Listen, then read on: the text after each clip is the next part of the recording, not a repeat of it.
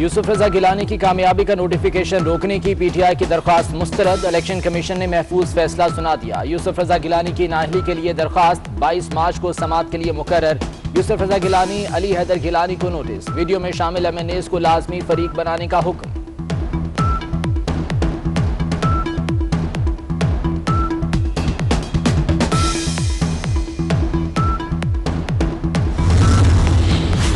Supreme court और election commission Shibli Faraz के बयान का नोटिस ले पीपल्स पार्टी के रहनुमा सईद गनी का मुतालबा। कहा, शिबली फराज कहते हैं कि हर सूरत चेयरमैन सेनेट का इलेक्शन जीतेंगे। अगर हर हरबा इस्तेमाल करना है तो हुकूमत के लिए ये काबिल फखर नहीं। बायस शर्म बात है।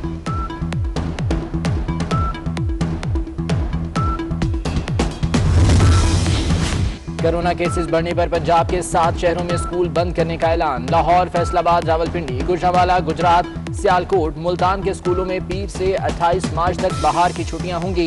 इम्तिहानात लेने वाले तालीमी इदारे बंद नहीं होंगे। सिंध, बलोचिस्तान, गिलगित बल्तिस्तान के स्कूलों में पचास फ़ीसद तलबा की हाजिरी होगी। मोवन खसूसी फैसल सुल्तान और विफाकी वज़ीर शफकत महमूद की न्यूज़ ब्रीफिंग।